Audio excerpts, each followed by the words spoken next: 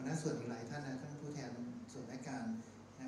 ท่องเที่ยวและกีฬาท่านประชาสัมพันธ์ทำให้การบริหารราชการของจังหวัดกาญจนบุรีเรา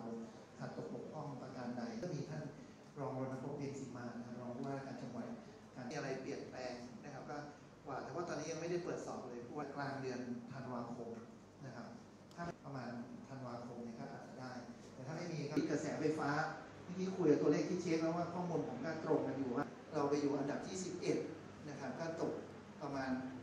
เดือนหนึ่งสามพันถ้าทุกคนเข้าใจตรงกันนะครับว่า เราก็มาดีแล้วก็คือมีจำนวนนักที่จะเพิ่มนะที่ท่านนายกครั้งที่ผ่านมานะจังหวัดกาญจนบุรีนานขึ้น มีการจับจ่ายใช้สอยนะครับขอบพระคุณท่านวุฒิพงศ์สุภาพวณิชนะ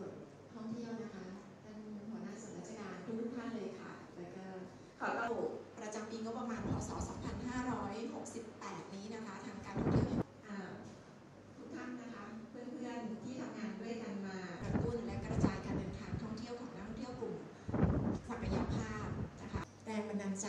สร้างได้ทุกวันนะคะ แต่ก่อนอื่นที่จะ การท่องเที่ยวแห่งประเทศไทยหรือทททเป็นผู้ขับเคลื่อนยุทธศาสตร์การท่องเที่ยวไทย ในการสร้างประสบการณ์ทรงคุณค่าปี68 เรามาชมผลงาน ตลอดทั้งปี 67 ที่ผ่านมาก่อนๆที่ทุกๆท่าน เป็นหน่วยงานรัฐวิสาหกิจ สังกัดกระทรวงการท่องเที่ยวและกีฬาทำหน้าที่ด้านการตลาดและประชาสัมพันธ์ กระตุ้นให้ต่างชาติเข้ามาในประเทศไทย มีสำนักงานสาขา 45 แห่ง และอีก 30 แห่งในต่างประเทศทั่วโลก การท่องเที่ยวเชิงคุณภาพอย่างยั่งยืน สร้างคุณค่า และ ยกระดับอุตสาหกรรม เป็นกิจกรรม five must do ค่ะ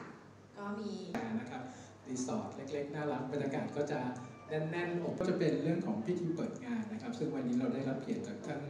เอ่อรองผู้ว่าราชการจังหวัดกาญจนบุรี